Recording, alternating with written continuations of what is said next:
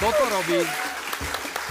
Martin Pilek je študent konzervatória, študent hudobného nástroja nie klávesového, ale študuješ Husle.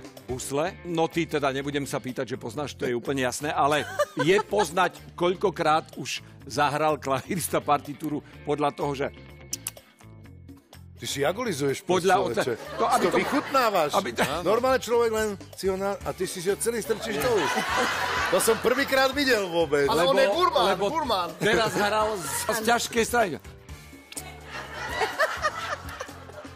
A čo si tam šuláš, ty človeče? Sušenú slivku. Kúsok z predchádzajúcej strany. Juj, juj, juj.